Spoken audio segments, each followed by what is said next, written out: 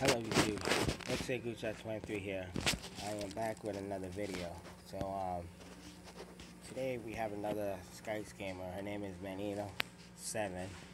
Uh, Terry speaking, you, can tell when someone is, is a, a, scammer is when they don't have a, a profile picture and they don't display their agenda.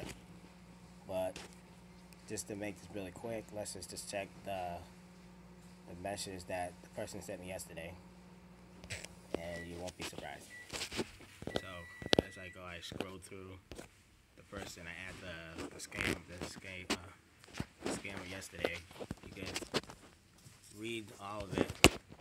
You can see. I mean, it's really nothing new.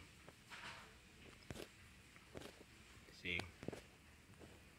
I mean, if you go and look at my uh, my first one, my first uh, video I did that's the same picture that the person used in my first video. So you can tell it's a, it's a scammer. I mean, then she said, uh, she said an explosive picture. I'm not gonna click on it, but like I said, see, it's really sad. It's really sad. And that's about it.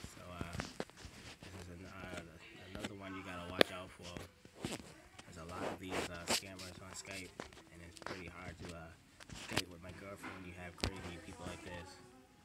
Uh, this is XA 23 here,